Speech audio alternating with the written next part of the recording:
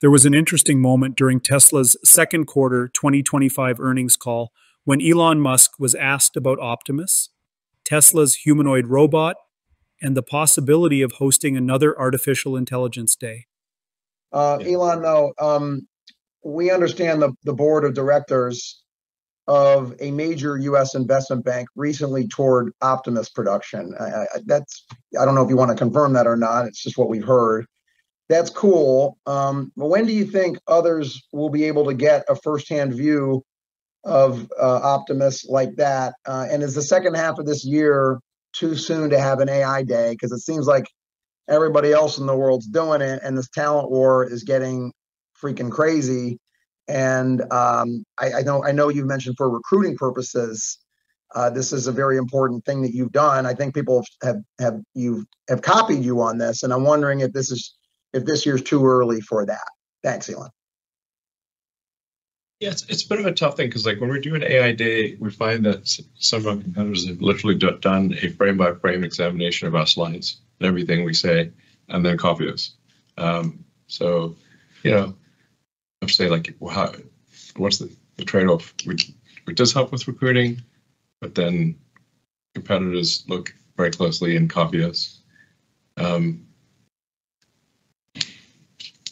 Mean, that said, we should probably, I mean, I, I guess we could consider the shareholder meeting to be sort of an, we can do, we can maybe go into depth, some, some amount of depth at the annual shareholder meeting um, with respect to Optimus and AI and um, sort of our chip, chip stuff, perhaps.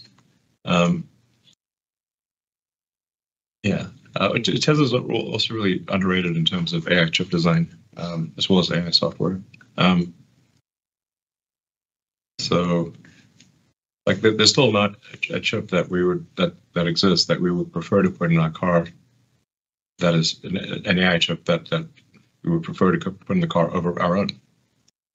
And even though it's been now out for several years, um, and we're confident that the AI5 chip will be uh, a profound game changer.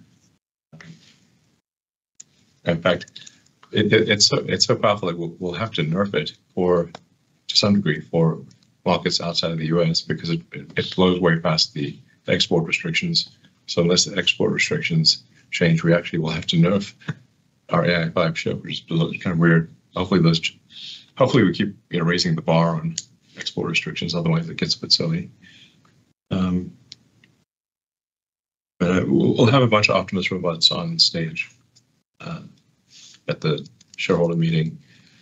Um, the Optimus Lab is cool to see. It looks like it basically looks like the set of Westworld. Um, you could robots in various stages. Some of them are, you know, in various stages of repair. Like I don't know, some some, some combination of like the Tatooine junkyard and the and Westworld. That's what it looks like. It's very cool and, and Optimus is walking around the office here in Palo Alto. So just 24 7 is just walking around like it's normal. And, and we saw, you saw Optimus like, you know, the Tesla diner serving popcorn. Uh, yeah, so it's, we'll go from a world where robots are rare to where they're so common that you don't even look up. The question hinted at a rumor that a major United States investment bank's board had recently toured Optimus production. Elon did not confirm it outright, but acknowledged it with a casual, that's cool. What followed was a rare, candid take from Elon. He explained that Tesla's past Artificial Intelligence Day events have been helpful for recruiting, but they come with a downside. Competitors, he said, have literally gone frame by frame through Tesla's slides and presentations, copying their work closely. It is a tough trade off show the world what Tesla is building to attract top talent, or stay quiet to protect their competitive edge.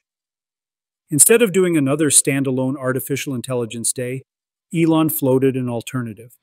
He suggested that Tesla might include some deep updates on Optimus artificial intelligence development, and chip technology during the company's annual shareholder meeting later this year. This way, they still provide insights and progress without giving away too much too soon.